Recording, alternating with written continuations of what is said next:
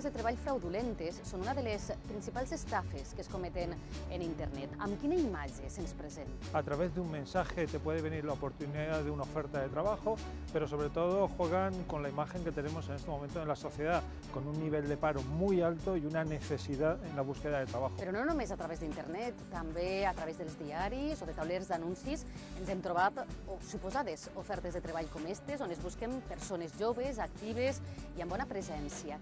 Un con una cantidad económica muy elevada, donde te dicen que no vas a tener que moverte casi de casa, donde te dicen que tienes todas las facilidades del mundo y no hacen falta eh, excesivas capacidades o un currículum demasiado importante siempre verificando los datos de la empresa o de la persona o de la entidad que hace de mediador o que me está ofreciendo ese trabajo.